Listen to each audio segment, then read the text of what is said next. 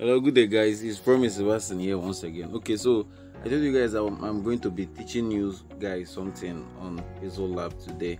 Okay, so I thought of this how to curve already made designs like this. You see some recent designs when they try to present it as a mock-up, you see the edges are curved, so you can actually curve this thing without maxing, or you can see I didn't max it without maxing i didn't max it or without erasing it or without erasing so you can just get curves this is the latest uh, uh, design presentation pattern like curve edges and you can just get already made design without curving it like already made design that is not curved and you will curve the you will curve it instantly like this on PixelLab. Just watch, I'm going to take you guys through. Okay, so the process goes like this. Let me remove this one and start afresh. It's very simple and it will take our time. So let me delete and start afresh so i first of all you do you get a shape. Get a shape.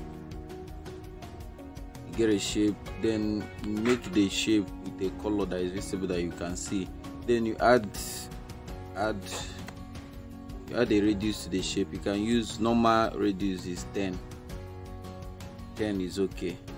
Or 11 at maximum. Or just let me just leave it i've made it 11 already to start adjusting this guy. Okay 10 it's okay. So you've gotten something like this. So if it's a long flyer you might try to adjust longer longer to fit in. But this is a square flyer. I will still teach you guys. This is a square flyer. You get a square shape.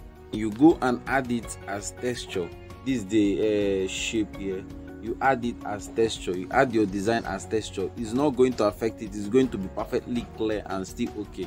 When you add it as texture and still save the design will be clear and okay. No after effect it works perfectly well. When they i saw that design invoke like curve design edges i tried how can i curve my already made design apart from curving it and started and start designing it from scratch? So this is a pattern. You add it as texture. This i've added as texture. I've added you click the image you add it as texture in that shape the curved shape you've gotten already. So you see it have appeared as texture so assuming i have something let me adjust this here. Assuming i have something like this now it's not okay. What you do is you keep adjusting. You take it up small. Take it up.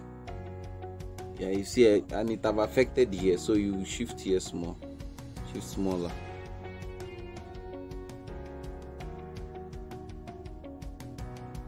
So this is the adjustment process. Okay i've gotten something okay. Then this one needs to be worked on a little bit. Okay you see it is now okay. So this is how it's been done. And if it's a flyer if it's a flyer assuming i made this thing long now as a flyer you see it will adjust properly. Due to it's a flyer you won't have something like this. Okay let me get the long flyer. And get a long flyer. Let me delete this and add another texture.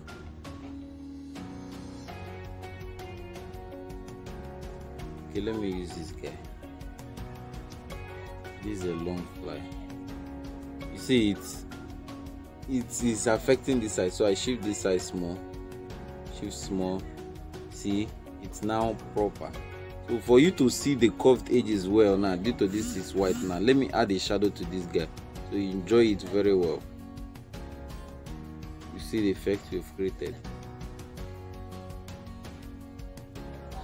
Let me reduce the shadow press ok so you can see it now. So this is it. It's very very simple. Some people might be i know some might have known the knowledge have gotten the knowledge uh, but some might still be finding it difficult. So this is it. And this is it okay. So you can is the current trend now. You can just add curves to your design and make it much more presented uh, presentable. Even the already designed one okay. So thanks for watching and don't forget to share with your friends share with your friends. I don't see a reason you shouldn't share my video so share with your friends and there are still more coming there are still more coming. Okay so thanks for watching and have a nice day